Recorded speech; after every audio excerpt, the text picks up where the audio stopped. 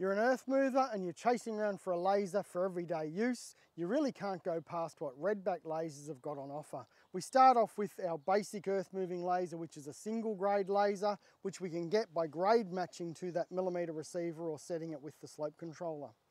We step up to the EGL624GM, it comes with that same receiver, so that's a millimeter receiver and it's going to read up to 50 mil above or below our level indicator. We can now set a dual grade, so a grade on the X and at the Y. The laser will also work in vertical mode so we can use it for all of our vertical alignment. So it's a really great all-round laser. But if we're after a real serious earth moving laser, the DGL 1010GM, we can dial a grade off either the remote or the laser itself up to 10% on both the X and the Y axis. It will also operate vertical to do any of our vertical alignment.